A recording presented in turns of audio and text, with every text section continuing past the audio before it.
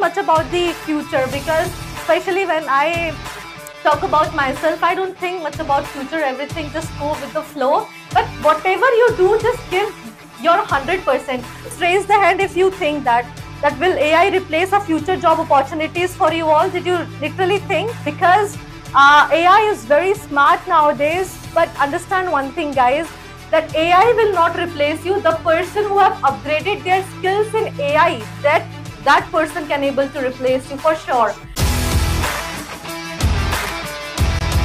And this can happen only using LinkedIn. Okay, so make sure you learn two main stuff in here. First is create your portfolio. You have ample number of projects with you.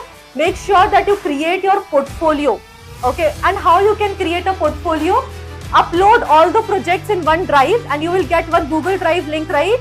So that will be your portfolio link because you are a students in here and you can create a portfolio using GitHub and a lot more Linktree links. There's a lot more stuff. And if you have a 500 plus LinkedIn network connections, but all of you have a Amazon subscription, that's good. Whatever you search, whatever you learn on YouTube, Instagram, whatever you click, everything is trackable nowadays. Nothing is hidden from the Google and from the data for sure. So if you are looking forward to work any of these profiles as an analyst, you need to must upgrade the skills this is for sure. Okay.